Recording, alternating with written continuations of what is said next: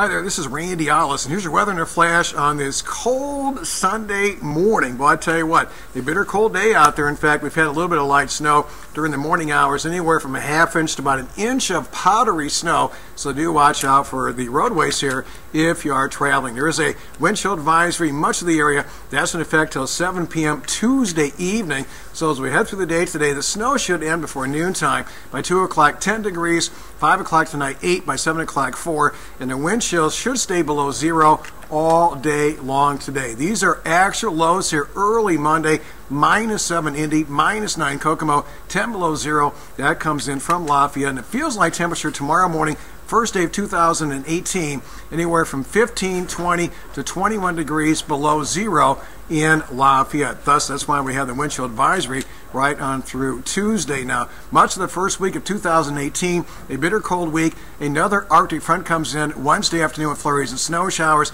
Not much accumulation, a few flurries on Thursday.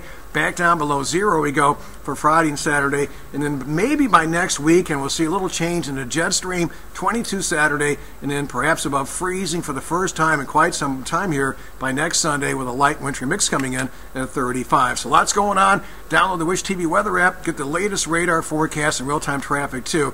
Again this afternoon, uh, the light snow gets out. If you're a little sunshine, our high temperature near 10 degrees.